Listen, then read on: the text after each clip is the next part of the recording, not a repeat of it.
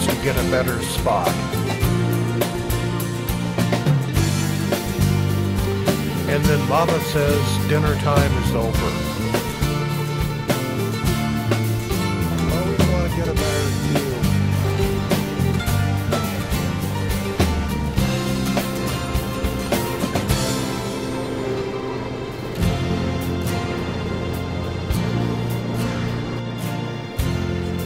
Sometimes if can't get a cow to move, you have to goose them in the rear.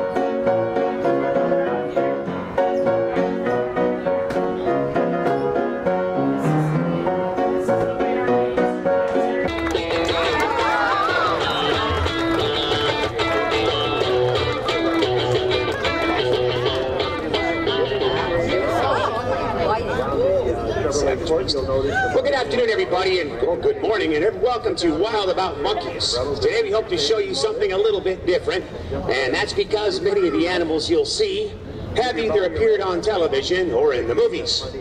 And also keep in mind as you watch the show that all these animals do understand applause. So if you see anything at all that they do that you enjoy, don't be afraid to show your appreciation for them.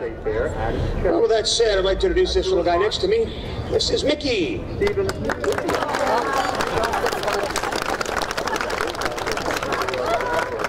Those teeth. Auditioning for white strips. Me your teeth over here too. Show me teeth. You know those canines are about an inch and a half long, but they're still growing. When they come all the way in, they'll be somewhere between two and a half and three inches long, and he's still growing in general. He's a male baboon, so it'll take about 12 years to reach full size. At that time, he'll be somewhere between 80 and 90 pounds. You know, there's three things that baboons like Mickey just love to do. Even though they live on the ground, they really enjoy climbing trees and breaking branches. And for that matter, Mickey likes to break anything that'll make noise. Second thing they enjoy is food. Just like us, they love to eat. So hey kids, what do you think Mickey's favorite food is? Bananas, yeah. You guys want to watch me eat some bananas? Yeah? Okay. I'm sure he'd enjoy it too. In fact, this is probably his favorite part of the show. You want this? And that's what he's going to do. First, he'll peel it, then he'll shove in his mouth, and look at that, he's pushing it into his cheeks. He has cheek pouches. All baboons have those. You know, there's a good reason why they have them, and that's because in the wild, they live in very large family groups, but they don't like to share. Mothers don't even share with their babies. They get milk and then they're on their own. So if they're all out feeding together and they come across a large food source, they all want to get the most food. So as quickly as possible, they pick it up, they shove it in their mouths, and they push it into those pouches. And they'll All right, that brings us to the third thing they enjoy. Just like, you know, they also love to play. Mickey's favorite games are tag and chase. And baboons in the wild are very acrobatic when they play. They can walk on their hands. There you go. They can do cartwheels. They can even do back flips. Would you guys like to see Mickey do some flips? Come on down here, big guy. Gotta work up those bananas. Let's go. Let's see some flips. Here we go, Mick.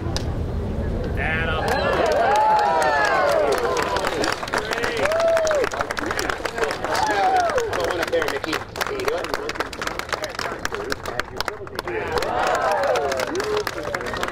Well, once again, that's And that's all he does. As said, they are the largest of the monkeys. Zuma weighs in at just under 100 pounds. And they also have the biggest canine teeth. At one time, his canines were three inches long. But he likes to grind them together, which makes them quite a bit sharper. And now they're about two inches long. I'm going to ask him to open his mouth and show you those teeth.